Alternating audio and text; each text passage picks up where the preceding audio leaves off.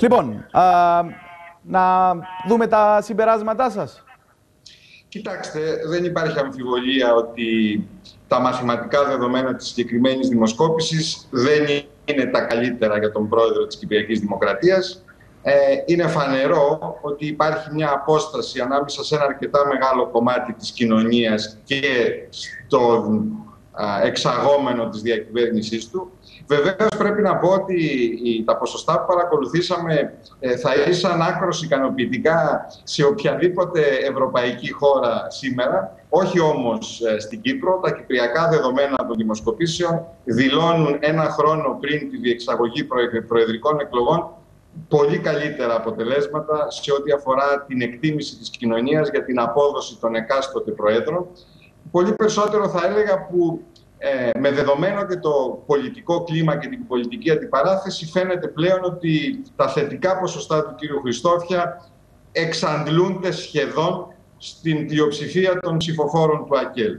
Απόσταση λοιπόν ανάμεσα στις επιλογές του Προέδρου της Δημοκρατίας και σε ένα μεγάλο κομμάτι της κοινωνίας, η οποία ασφαλώς αντικατοπτρίζει την εικόνα σήμερα, α, δεν μπορεί να προεξοφλήσει το τι θα γίνει αύριο, ναι. Ε, αλλά αυτά είναι τα μαθηματικά δεδομένα αυτής της στιγμής. Θέλω και μια εξήγηση, Κώστα, για το εξής παράδοξο εντός ή εκτός εισαγωγικών. Ε, φαίνεται ότι δεν υπάρχει μια συμφωνία στους αριθμούς σε ό,τι αφορά τις ερωτήσεις για την εσωτερική διακυβέρνηση και το Κυπριακό και την ερώτηση που αφορά την Προεδρία στο σύνολό της.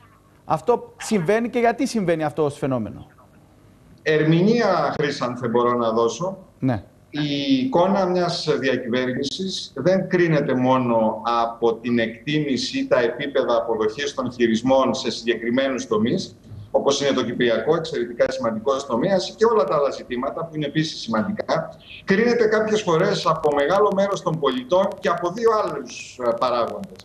Ο πρώτος παράγον είναι αυτό που αντιλαμβάνονται οι πολίτες, καλός ή κακός, ως το ύφος μιας εξουσίας, και ο δεύτερος παράγον, για να μην κρυβόμαστε, είναι οι πολιτικές εντάξεις. Με δεδομένο το πολιτικό σκηνικό σήμερα στην Κύπρο, όπου πρακτικά τον πρόεδρο της Δημοκρατίας στηρίζει μόνο το ΑΚΕΛ, δεν θα περίμενε κανείς και εντυπωσιακά διαφορετικά αποτελέσματα, για να είμαι ειλικρινής, χωρίς βεβαίως να παραγνωρίζω αυτό που είπα πριν για το ύφος της εξουσίας, όπως βεβαίως οι πολίτες το αντιλαμβάνουν.